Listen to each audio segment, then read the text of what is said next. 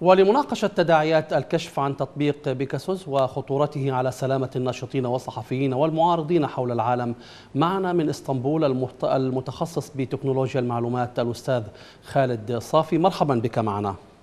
أسعد الله أوقاتكم بكل خير. أهلا حياكم الله. أهلا بكم. كيف يمكن أو كيف يعمل هذا التطبيق؟ كي يصبح جاسوسا في جيوبنا؟ نعم فعليا هذا التطبيق يستخدم كان بالبداية في بداية انتشاره يستخدم تقنية التصيد أو الفيشنج وهي عملية كانت مرهقة وليست ناجحة بدرجة كبيرة بحيث يتطلب من الضحية أن يضغط على رابط ملغوم وعند الضغط على هذا الرابط يتم دخول هذه البرمجية الخبيثة إلى الجهاز ومن ثم السيطرة على كافة محتوياته. لكن الشركة وجدت أن هذه التقنية مع الناشطين والحقوقيين والسياسيين أصبحت غير مجدية لوعيهم ولقدراتهم الفائقة في تعقب هذه التقنيات خصوصا ما حدث مع الناشط الإماراتي أحمد منصور الشحي الذي اكتشف هذه التقنية في عام 2016 ومن خلالها تمكن من إثارة فضيحة كبيرة للتطبيق، بعد ذلك لجأت هذه البرمجية الخبيثة إلى ما يسمى ب zero click وهي إمكانية الانضمام أو الدخول أو الاختراق للأجهزة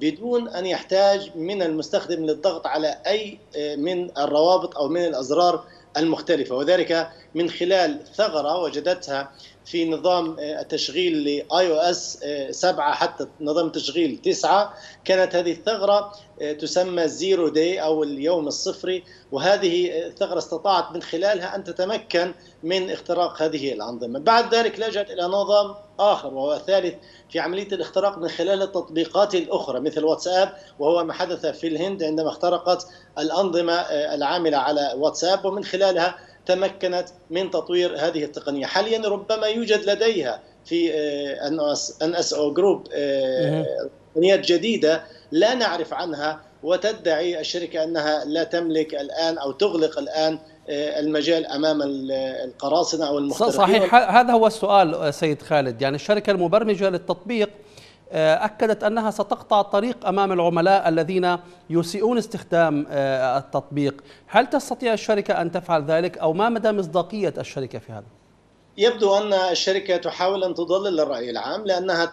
يعني بالبداية تقول أنها توجه هذا التطبيق فقط للحكومات أو الجهات ذات الحكومة السيادة الحكومية بعدما تتأكد من مطالبهم ومزاعمهم في محاربة الإرهاب أو الجريمة المنظمة، لكن في نفس الوقت لا تتورع هذه الشركة من تقديم التطبيق لمؤسسات أو لشركات وعصابات مكسيكية تسعى من خلال العمل في مجال الاتجار بالمخدرات إلى ابتزاز الحكوميين والسياسيين ورجال الشرطة أيضا والإعلاميين من خلال هذا التطبيق أيضا الشركة تقدم هذا التطبيق على طبق من فضة للحكومات التعسفية التي لا يوجد بينها وبين حقوق الإنسان أي نوع من الود أو أو أو الصداقة نعم. كثير من الدول التي تستخدم هذه التطبيقات وجدنا في سجل استخدامها لهذا التطبيق جرائم اقترفت بحقوق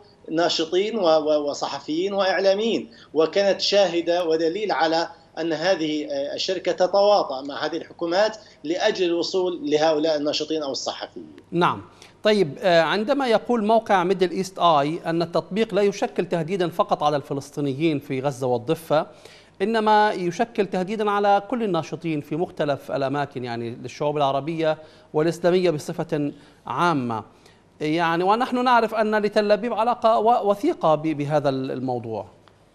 يعني من خلال ما ذكرت بعض المختبرات التي كشفت عن الخوادم التي وصلت إليها هذه البرمجيه الخبيثة وجدت الأرقام أن هناك أكثر من 45 دولة من بينها 17 دولة عربية وأيضا من ضمنها دول مجلس التعاون الخليجي التي كان لها الحظ الأوفر في الاستخدام لهذا التطبيق أو التجسس على أشخاص في مناطق في هذا التطبيق. بمعنى أن الحكومات في هذه الدول تستخدم هذا التطبيق للتجسس والتنصت على أشخاص وأفراد في هذه الدول. فبالتالي عمليا هو أيضا يخدم في ضد الفلسطينيين وضد من يتعاون أو من يساند القضية الفلسطينية وأيضا آخرين من الناشطين والحقوقيين والإنسانيين على مستوى العالم وليس فقط في المنطقة العربية. وبالتالي عمليا هذا التطبيق يسعى بشكل دائم للاستثمار المالي والحصول على مبالغ عالية جدا. نعم. وفي نفس الوقت التأثير على الرأي العام.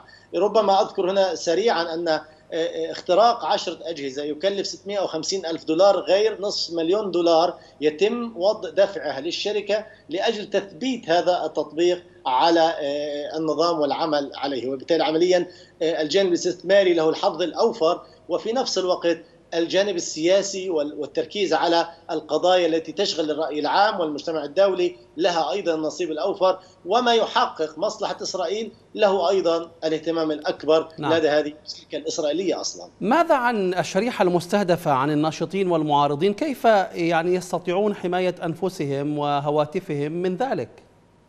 يعني هو يبدو أن هذا الاستهداف يكون بشكل كبير ومركز على من هم أصحاب قيمة عالية لدى الدول ولدى المؤسسات الأمنية. وبالتالي عمليا يدفع مبالغ طائلة للوصول لهؤلاء حتى يتمكنوا من التنصت على أجهزتهم أو رصدهم أو ابتزازهم حتى.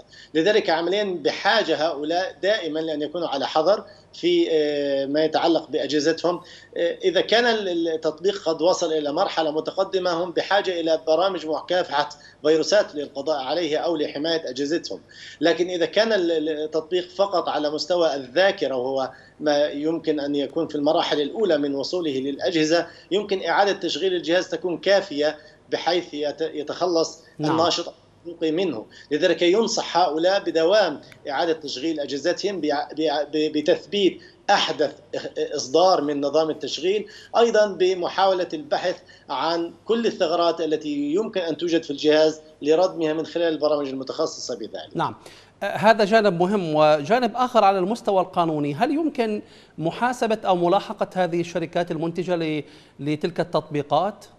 يعني للأسف هذا التطبيق معقد بشكل كبير جدا لدرجة أنه لا يوجد أي آثار لا يوجد أي آثار بعد اختراقه للأجهزة ولا يوجد أي دلالات عليه. وتؤكد الشركة المصنعة له NSO Group الإسرائيلية أنها تقدمه فقط للجهات الحكومية وتقدمه لجهات رسمية بناء على تعاقد رسمي لمكافحة الجريمة والإرهاب وتتنصل تماما من أي استخدام سلبي من قبل الحكومات تجاه الأفراد سواء كانوا حقوقيين أو نشطاء أو صحفيين.